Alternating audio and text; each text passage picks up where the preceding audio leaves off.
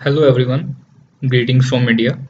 This is Nirbhay Chauhan from Eklavya Self-Learning Tutorials. Well, in this tutorial, we'll be com comparing these two types of bridges. Uh, the word I'm using bridges here is like uh, the dimensions are quite long. You can use our tables also. The analysis and the other parts and the comparison can be done the same word as for tables also. So here we are using the word bridges. So what we have is in the first case we have a bridge with four columns four beams and a slab above them. And the second case we have the same four columns a slab but in place of the beams we have these two arches and these in between these four walls you can see. So let me just tell you the dimensions. Uh, in the both case the dimension of the columns is same. The columns are of cross section 300 into 200 mm. And the beams here they are also of the cross section 300 to 200 mm. And the slab is of 150 mm thickness.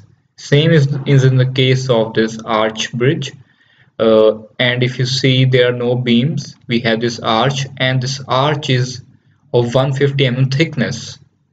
And these walls these are of 100 mm thickness. So let's start and compare the FEM results. So let's start with the first case. So we have this. We have already made the structure. So we can have another tutorial where we'll be discussing the modeling of the structures but here we can see the comparison. So we have the FEM workbench open. So click on the structure the compound and create the analysis object.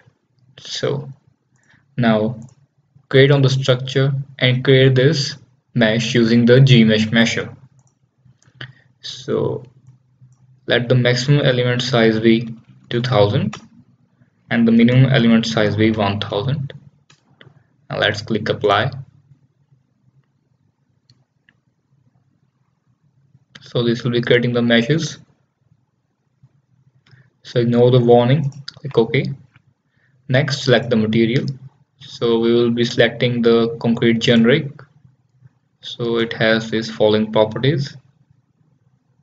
Click ok. Now let's fix the constraints. So here we have an option. Creates an FEM constraint for the fixed geometry.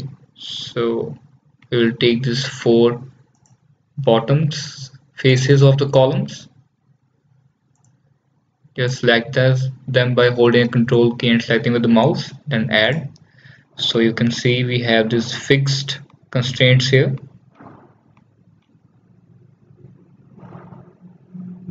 so click OK. Now let's have the FEM constraint for the force. So let the force be 1 lakh Newton. That is 100 kilonewton.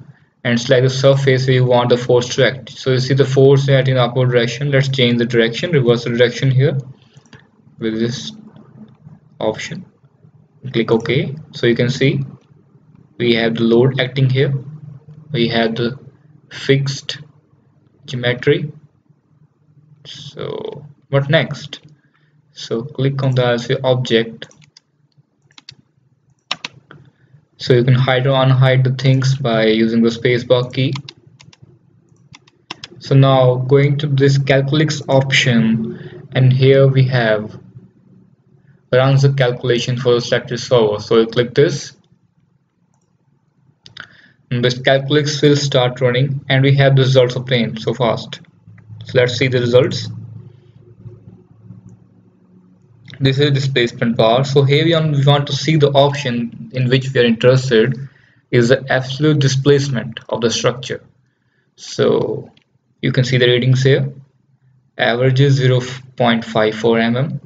Maximum is 1.66 mm.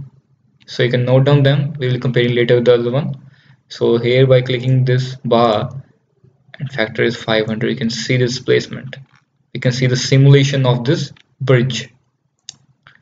Basically we are interested in this in this reading. So you can see the maximum displacement is 1.66 mm.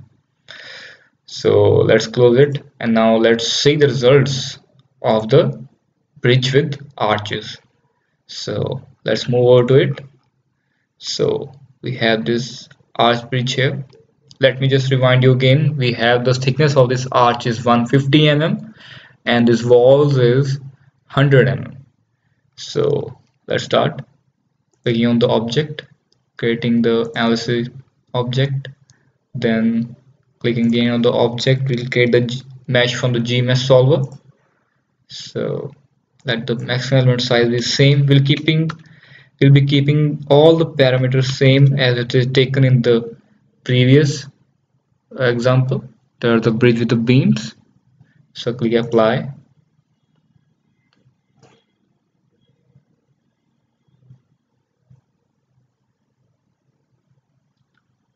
So okay. So now let's also fix its footings you can say the bases. Click add. And now we have the ends of the structure fixed. Let's select the material. Let it be concrete generic. Okay. Then select load.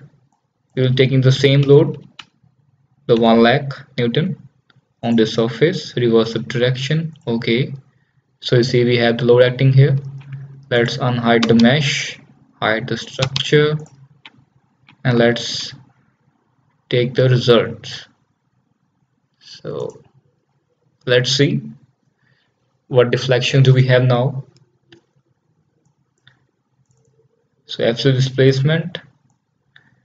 So you see the readings the average is 0.114 and the maximum is 0.61 mm.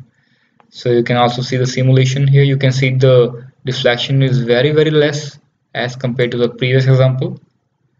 In that we have the average displacement was about 0.5 we have here 0.1 so you can see five times we have decrease in the displacement.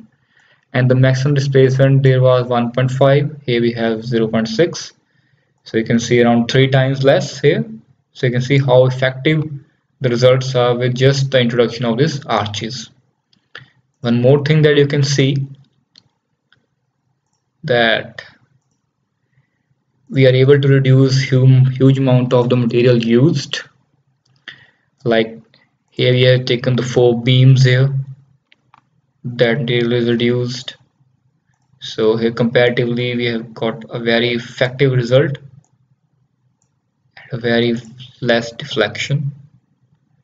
So let me just rewind you the results. In the bridge with the beams if we see the results. So we have to activate this first. Activate analysis. So if you see the absolute displacement here it was 0.54 average and the maximum 1.66 and the bridge with arches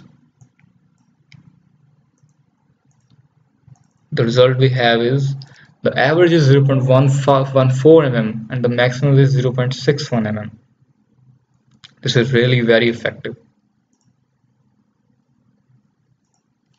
So we have discussed the results. The results are in front of you. So next time you analyze any structure you must refer this software FreeCAD you can see how effectively we have got the analysis of the structure and where there are most critical points. So this is very effective tool and open source. Well thanks for watching. Stay tuned. We'll have some more tutorials regarding this. This one Nirbhay Chauhan from Eklavya self-learning tutorials. Thank you.